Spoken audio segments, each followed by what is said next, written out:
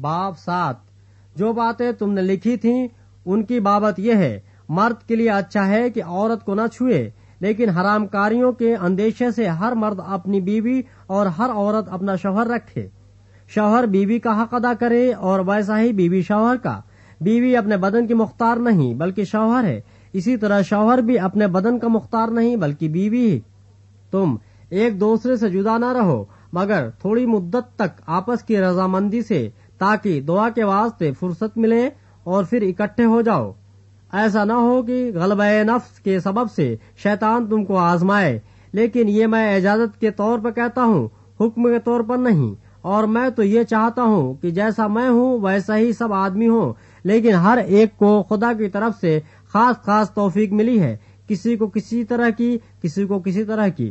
بس میں بے بیاہوں اور بیواؤں کے حق میں یہ کہتا ہوں کہ ان کے لیے ایسا ہی رہنا اچھا ہے جیسا میں ہوں۔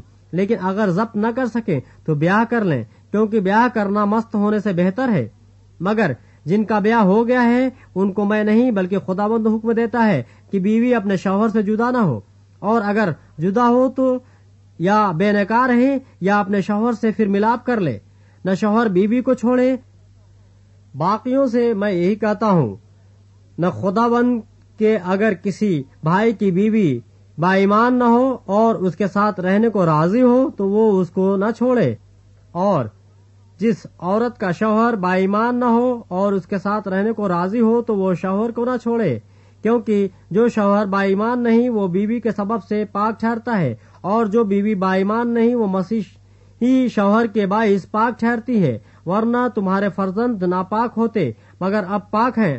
لیکن مرد جو با ایمان نہ ہو، اگر وہ جدا ہو تو جدا ہونے دو۔ ایسی حالت میں کوئی بھائی یا بہن پابند نہیں، اور خدا نے ہم کو میل ملاپ کے لیے بلایا ہے۔ کیونکہ اے عورت، تجھے کیا خبر ہے کہ شاید تو اپنے شوہر کو بچا لے؟ اور اے مرد، تجھ کو کیا خبر ہے کہ شاید تو اپنی بیوی کو بچا لے؟ مگر جیسا خدا بند نے ہر ایک کو حصہ دیا ہے اور جس طرح خدا نے ہر ایک کو بلایا ہے، اسی طرح وہ چلے اور میں سب کلیسیاؤں میں ایسا ہی مقرر کرتا ہوں۔ جو مختون بلایا گیا، وہ نامختون نہ ہو جائے۔ جو نامختونی کی حالت میں بلایا گیا، وہ مختون نہ ہو جائے۔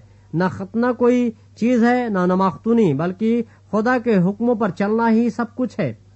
ہر شخص جس حالت میں بلایا گیا ہو، اسی میں رہے۔ اگر تو غلامی کی حالت میں بلایا گیا تو فکر نہ کر، لیکن اگر تو آزاد ہو سکے تو اسی کو اختیار کر۔ کیونکہ جو شخص غلامی کی حالت میں خدا بند میں بلایا گیا ہے، وہ خدا بند کا آزاد کیا ہوا ہے۔ اسی طرح جو آزادی کی حالت میں بلایا گیا ہے، وہ مسیح کا غلام ہے۔ تم قیمت سے خریدے گئے ہو، آدمیوں کو غلام نہ بنو۔ اے بھائیو، جو کوئی جس حالت میں بلایا گیا ہو، وہ اسی حالت میں خدا کے ساتھ رہے۔ کواریوں کے حق میں میرے پاس خدا بند کا کوئی حکم نہیں، لیکن دیرت دار ہونے کے لیے جیسا خدا بند کی طرف سے مجھ پر رحم ہوا، اس کے موافق اپنی رائے دیتا ہوں۔ بس موجودہ مصیبت کے خیال سے میری رائے میں آدمی کے لیے یہی بہتر ہے کہ جیسا ہے ویسا ہی رہے۔ اگر تیرے بیوی ہے تو اس سے جدا ہونے کی کوشش نہ کر، اور اگر تیرے بیوی نہیں تو بیوی کی تلاش نہ کر۔ لیکن تو بیاہ کرے بھی تو گناہ نہیں، اور اگر کنواری بیاہی جائے تو گناہ نہیں۔ مگر ایسے لوگ جسمانی تکلیف پائیں گے اور میں تمہیں بچانا چاہتا ہوں۔ مگر اے بھائیو، میں یہ کہتا ہوں کہ وقت تنگ ہے۔ بس آگے کو چاہیے کہ بیوی والے ایسے ہوں کہ گویا ان کے بیویاں نہیں، اور رونے والے ایسے ہوں گویا نہیں روتے، اور خوشی کرنے والے ایسے ہوں گویا خوشی نہیں کرتے، اور خریدنے والے ایسے ہوں گویا مال نہیں رکھتے، اور دنیوی کاروبار کرنے والے ایسے ہوں کہ دنیا ہی کے نہ ہو جائیں، کیونکہ دنیا کی شکل بدلتی جاتی ہے۔ بس میں یہ چاہتا ہوں کہ تم بے فکر رہو۔ بے بیاہ شخص خدا بند کی فکر میں رہتا ہے کہ کس طرح خدا بند کو راضی کرے، مگر بیاہ وہ شخص دنیا کی فکر میں رہتا ہے کہ کس طرح اپنی بیوی کو راضی کرے۔ بیاہی اور بے بیاہی میں بھی فرق ہے۔ بے بیاہی خدا بند کی فکر میں رہتی ہے تاکہ اس کا جسم اور روح دونوں پاک ہوں، مگر بیاہی ہوئی عورت دنیا کی فکر میں رہتی ہے کہ کس طرح اپنے شوہر کو راضی کرے، یہ تمہارے فائدے کے لیے کہتا ہوں، نہ کہ تمہیں پھنسانے کے لیے، بلکہ اس لیے کہ جو زیبا ہے وہی عمل میں آئے، اور تم خدا بند کی خدمت میں بے وسوسہ مشغول رہو۔ اور اگر کوئی یہ سمجھے کہ میں اپنے اس کنواری لڑکی کی حق تلفی کرتا ہوں جس کی جوانی ڈھل چلی ہے اور ضرورت بھی معلوم ہو تو اختیار ہے، اس میں گناہ نہیں۔ وہ اس کا بیاہ ہونے دے، مگر جو اپنے دل میں پختہ ہو اور اس کی کچھ ضرورت نہ ہو، بلکہ اپنے ارادے کے انجام دینے پر قادر ہو اور دل میں قصد کر لیا ہو کہ میں اپنی لڑکی کو بے نکار رکھوں گا، وہ اچھا کرتا ہے۔ بس جو اپنی کاری لڑکی کو بیاہ دیتا ہے، وہ اچھا کرتا ہے، اور جو نہیں بیاہتا، وہ وہ بھی اچھا کرتا ہے۔